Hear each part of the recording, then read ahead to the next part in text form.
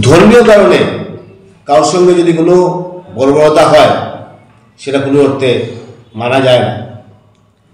আজকে বাংলাদেশে সেই রোহিঙ্গাদেরকে আশ্রয় দেওয়া হয়েছে। কি জন্য দেওয়া হয়েছে? যে বাংলাদেশ একটা ইসলামিক কান্ট্রি, রোহিঙ্গাদেরকে সেখানে থাকার ব্যবস্থা দেওয়া হয়েছে। সমান ভারতবর্ষে একটা হিন্দু প্রধান দেশ।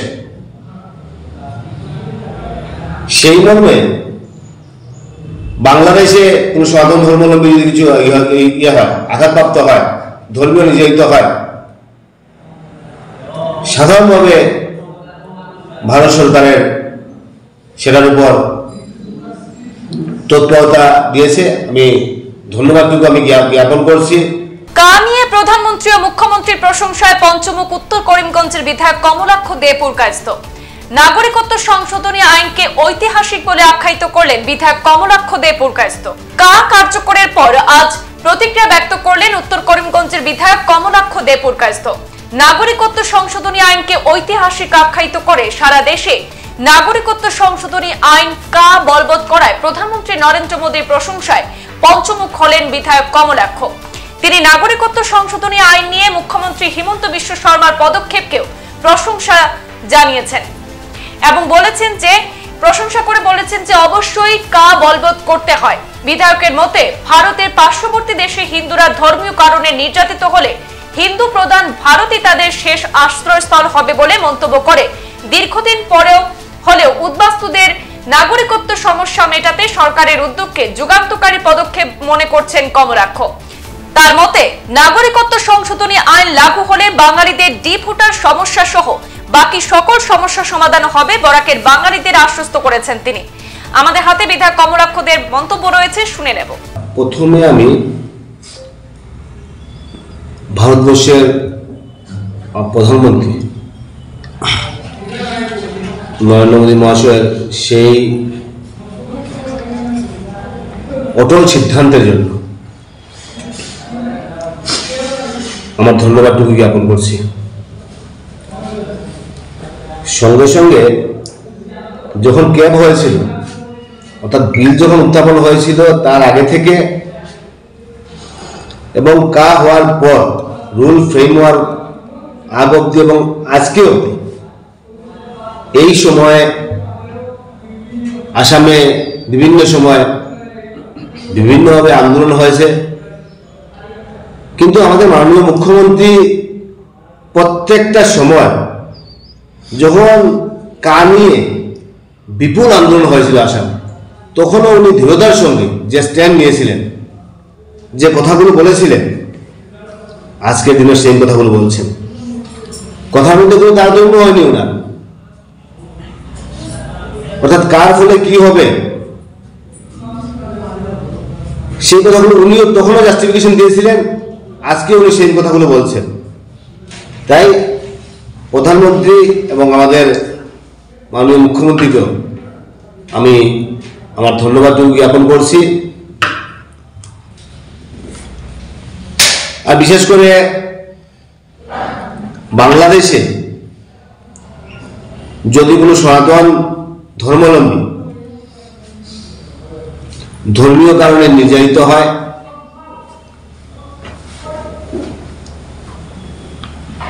তাহলে নিশ্চয়ই আমরা যারা ভারতবর্ষের যারা মানুষ নিশ্চয়ই তার জন্য আমরা খুশি হব না। আমাদের ব্যথা লাগাটা স্বাভাবিক। এবং আমি মনে করি যে কোনো ধর্মাবলম্বী মানুষই সেটা সেটাতে খুশি হবে না। যখন ধর্মীয় কারণে যদি বাংলাদেশ যদি কেউ নির্যাতিত হয়, যদি হিন্দু বাঙালিরা নিজেদের নির্যাতিত হয়, তাহলে কোনো ধর্মাবলম্বী মানুষই সেটাতে খুশি হবে না। এবং এই সমস্যাটা একটা জটিল সমস্যা। সঙ্গে সঙ্গে রোহিঙ্গাদের উপর মা- মা- মা- মা- মায়ানমারে রোহিঙ্গা- রোহিঙ্গার উপর যখন অত্যাচার হয়েছিল যখন, তখনও সেটা অ- অমানবিক হয়েছিল। সেই ব্যাপারে আমরা প্রতিবাদ করি। অর্থাৎ অমানবিক কোনো ঘটনা ধর্মীয় কারণে কারোর সঙ্গে যদি কোনো বর্বরতা হয়, সেটা কোনো অর্থে মানা যায় না। আজকে বাংলাদেশে সেই রোহিঙ্গাদেরকে আশ্রয় দেওয়া হয়েছে। কি দেওয়া হয়েছে যে বাংলাদেশ একটা ইসলামিক কান্ট্রি। রোহিঙ্গাদেরকে সেখানে থাকার ব্যবস্থা দেওয়া হয়েছে। সময় ভারতবর্ষে একটা হিন্দু প্রধান দেশ। সেই মর্মে বাংলাদেশে কোনো সনাতন ধর্মাবলম্বী যদি কিছু ইয়ে- ইয়ে হয়, আঘাতপ্রাপ্ত হয়, ধর্মীয় নির্যাতিত হয়, সাধারণভাবে ভারত সরকারের সেটার উপর তৎপরতা দিয়েছে। আমি ধন্যবাদটুকু আমি জ্ঞা- জ্ঞাপন করছি। এবং সঙ্গে সঙ্গে একটা কথা বলতে হয় যে এই ক্যাব যখন কা হলো, তারপর থেকে বিভিন্ন সংগঠন বিভিন্নভাবে গণতান্ত্রিক আন্দোলন করছে। তো সেই ব্যাপারে আমি যারা আন্দোলন করছে, গণতান্ত্রিক অধিকার আন্দোলন করবে সে ব্যাপারে আমি কিছু বলব না। প্রত্যেকের অধিকার আছে, সেটার উপর কমেন্টস কমেন্ট কমেন্টস করা। কিন্তু সেই যে ক্যাব কার হয়েছিল তখন বলা হয়েছে চোদ্দোর পর, আর কাউকে এখানে আসতে দেওয়া হবে না। সেটাই ফাইনাল ফাইনাল কথা। এবং আমরা দেখি যদি, তাহলে আমরা দেখব যে এই কার ফলে আজকে ডিপুটারের সমস্যা। অর্থাৎ চোদ্দ অব্দি যারা এই ভারতবর্ষে এসেছিলেন যাদের ডিপুটার সমস্যা, এই সমস্যাগুলো লাঘব হবে। যদিও কেউ সংখ্যা বলছে আশি লাখ, নব্বই লাখ, এখন বলছে চোদ্দ লাখ, পনেরো লাখ। সেটা মুখ্যমন্ত্রীর কথা মতে সেটা দুই থেকে চার লাখ হবে। দুই থেকে চার লাখ হবে। তার থেকে বেশি হবে না, কারণ সেটা তো প্রমাণ হয়ে যাবে। এখন অ্যাপ্লাই হবে। এক বছরের ভিতরে সেটা প্রমাণ হয়ে যাবে।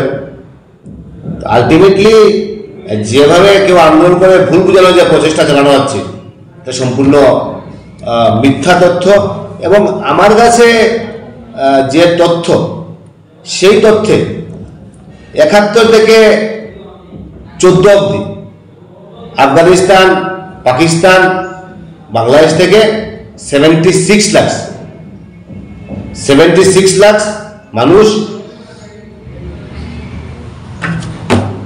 এই ভারতবর্ষে শরণার্থী হিসাবে। এখানে আছেন সেভেন্টি সিক্স লাখ, সেটা সরকারি তথ্য। এবং তার মধ্যেখানে প্রায় sixty eight lakh six hundred Pakistan থেকে এসছে। ধর্মীয় কারণে ওনারা ভারতবর্ষে এসছেন বাংলাদেশ থেকে two lakh twenty one one thousand অর্থাৎ দুই লাখ একুশ হাজার মানুষ। বাংলাদেশ থেকে শুধু আসামে নয়, সেখানে ওয়েস্ট বেঙ্গল হবে পশ্চিমবঙ্গ হবে, অনেক জায়গায় সেই মানুষগুলো এখানে আছে, সরকার সরকার, সরকারি তথ্য মতে আফগানিস্তান থেকে সামা- সামান্য মানুষ এসছে এসছে। এবং সেই মর্মে আমি মনে করি সেই তথ্যগুলো মোটেই ঠিক না আমার মেন কনসার্নটা হচ্ছে গিয়ে যে এই যে এতদিনের যেগুলো সমস্যা যেগুলো আছে, আজকে আমার মেন কনসার্নটা হচ্ছে গিয়ে যে এই যে এতদিনের যেগুলো সমস্যা যেগুলো আছে, আজকে ডিবুটের সমস্যা থেকে শুরু করে বাঙালিদের অনেক সমস্যা। এই কার ফলে এই সমস্যাগুলো সমাধ- সমাধান হবে এবং বাড়তি বোঝা বা বাড়তি যেগুলো আছে, সেখানে বাড়তির কিছু এই চোদ্দ অবধি যারা এখানে আসবে আসবে, ওদেরকে মর্যাদা দেওয়া হবে এবং বিশেষ করে আরএসএস প্রধান মোহন বাগবত কদির একটা খুব সুন্দর একটা কথা বলেছেন যে আমাদেরকে উদার হতে হবে। উদার মানসিকতায় আমাদের চিন্তাধারা করতে হবে, আমাদের উদারতা বৃদ্ধি করতে হবে। সে যেই ধর্মাবলম্বী হোক না কেন, আমরা যত বেশি উদার হব, তত বেশি সুষ্ঠু এবং সুন্দর পরিবেশ হবে। এবং আমি মনে করি এই কার ফলে একটা সুষ্ঠু, সুন্দর একটা পরিবেশ হোক, সুষ্ঠু, সুন্দর একটা বাতাবরণ হোক। আর বিশেষ করে যে রুল ফ্রেম করা হয়েছে, এই বিলটা তো এই একটা তো একটা ঐতিহাসিক অ্যাক্ট একটা। এবং যে রুল এখানে ফ্রেম করা হয়েছে। সেই রুলগুলো প্রত্যেকটার মধ্যে ঠিক আছে। আমি দেখছি কোনো, সেখানের মধ্যে কোনো ইয়ে নেই। কিন্তু একটা জিনিস আছে schedule one schedule A one schedule B one অর্থাৎ বাংলাদেশ থেকে যারা এসেছিল, তাদের প্রায় কতটা নথি সেখানে দেওয়া দেওয়া হয়েছে।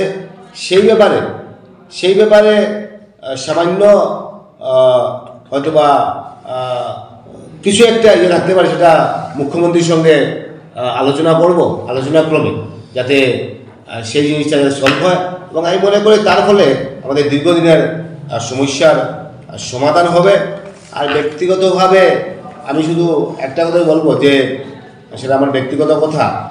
দু, উনিশশো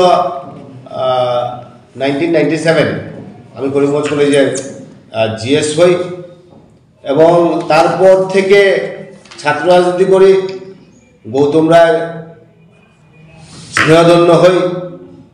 এবং আহ, আহ, গৌতম রায় মহাশয় কাজকর্ম থেকে অনেক ক্ষেত্রে মানুষকে সাহায্য সুবিধা করতে পারি। পরবর্তী সময়ে মাননীয় তখন মন্ত্রী ছিলেন উনি আমাকে টিকিট দিয়েছেন। এবং তারপর এবং তার আগ থেকে আমাদের বিশেষ করে প্ল্যানিং অ্যান্ড ডেভেলপমেন্ট মিনিস্টার ছিলেন আমাদের হেমন্ত বিশ্ব শর্মা মহাশয় আজকের মুখ্যমন্ত্রী পরবর্তী শিক্ষামন্ত্রী। এবং এগারো থেকে উনার সান্নিধ্য লাভ হয়। উনার সঙ্গে কাজ করি। অনেক সাজেশন সাজেশন দেন এবং ওনাদের সাজেশন মধ্যে অনেক অনেক কাজ করি হয়তো বা ষোলোতে, তার আগে উনি বিজেপিতে উনি চলে গিয়েছিলেন। যাক, ইদানিংকালে দেখেছি যে আমাদের মাননীয় মুখ্যমন্ত্রী যেভাবে আসামের উন্নয়নের জন্য কাজ করছেন, তো বিশেষ করে ওনাকে সাপোর্ট করার উদ্দেশ্য হচ্ছে কি যে বিগত প্রায় তিন বছরের মধ্যে, প্রায় আট, নয় মাস তার মধ্যে কোভিডের জন্য চলে গেল। এই কম সময়ের ভিতরে একদম টার্গেট দিয়ে কাজ করার যে একটা মানসিকতা, এই ব্রিজটা অমুক দিন স্যাংশন হয়েছে, অমুক দিন টেন্ডার অমুক দিন কাজ শেষ হবে, অমুক দিন উদ্বোধন হবে, এই যে একটা মানসিকতা, এই যে একটা রুটিন রুটিন মাফিক কাজ করা, আমি মনে করি আসামের ইতিহাসে আর এর আগে কোনোদিন রুটিন মাফিক সেইভাবে কাজ হয়নি। রুটিন দিয়ে কাজ করা, আসামকে আমাদের ভারতবর্ষের বুকে একটা প্রতিষ্ঠিত রাজ্যে রূপান্তরিত করার জন্য মুখ্যমন্ত্রীর যে প্রচেষ্টা, আমি মুখ্যমন্ত্রীর সঙ্গে আছি। সামনের দিন আসাম এগিয়ে যাক, বোরাক এগিয়ে যাক, মানুষের সমস্যার সমাধান হোক। এবং আমার ব্যক্তিগত কথা যে এই মুখ্যমন্ত্রী শুধু মুখ্যমন্ত্রী নন, যে উনি মুখ্যমন্ত্রী হিসাবে ডেভেলপমেন্ট কাজ করবেন, মানুষের উন্নয়ন কীভাবে সেটা কাজ করবেন, আমি মনে করি উনি একজন সামাজিক, সমাজটাকে ঠিক করার জন্য অর্থাৎ সমাজ সংস্কারগুলি। সমাজকে ঠিক করার জন্য সমাজের সুষ্ঠু বাতাবরণ। বিশেষ করে আজকে দেখা যায় যদি সুদকুর আজকে মাটির দালাল থেকে শুরু করে বিভিন্ন বিভিন্নভাবে যে সমাজকে ডাক থেকে শুরু করে এই সমাজকে সুস্থ রাখার জন্য, সুন্দর রাখার জন্য ওনার যে একটা প্রচেষ্টা, অর্থাৎ আমি মনে করি যে আজকে ভারতবর্ষের ইতিহাসে হয়তোবা আমাদের মুখ্যমন্ত্রী মুখ্যমন্ত্রী আছেন হয়তোবা আরও থাকবেন তারপর মুখ্যমন্ত্রী বুঝে থাকবেন না কিন্তু ইতিহাসের পাতায় সেগুলো কোথাও লেখা লেখা থাকবে যিনি সমাজ সংস্কার করার জন্য সুষ্ঠু সুন্দর বাতাবরণের জন্য ওনার যে প্রচেষ্টা আমি আবারও ধন্যবাদ ধন্য- ধন্যবাদ জ্ঞাপন করছি। একটা ব্যাপার। উনিশ লক্ষ বাদ পড়েছিল ওদের রিজেকশন স্লিপ সংবাদ এই পর্যন্তই ফিরছি পরবর্তী অন্যান্য আপডেট নিয়ে। ধন্যবাদ।